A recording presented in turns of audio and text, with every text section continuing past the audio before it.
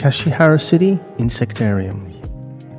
Whether you're a fan of insects or not, a venture to this attractive museum is time well spent.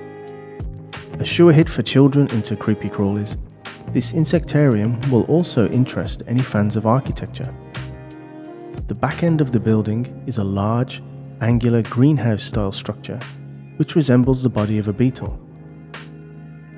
It contains a tropical garden with many species of butterfly that can be enjoyed all year round. Located just a little way into the countryside, the museum houses over 1,000 insect specimens and fossils.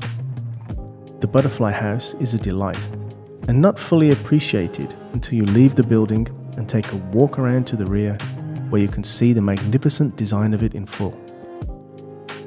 Ending your visit with a walk around to the back to have a look really does leave a lasting impact. Along with the insect specimens and fossils, there are also periodical exhibits of insects from all over Japan and the rest of the world, offering visitors the chance to learn about the basics of insects, their place in nature, and the relationship between insects and humans. You can even take part in some insect origami. The museum has a large car park, and a bus leaving from Yamato Yagi station makes access via public transport quite straightforward.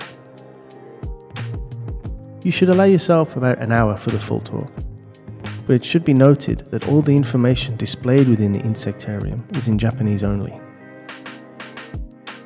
Admission costs 520 yen for adults, 410 yen for university and high school students, Junior high school students and children over 4 years of age cost 100 yen.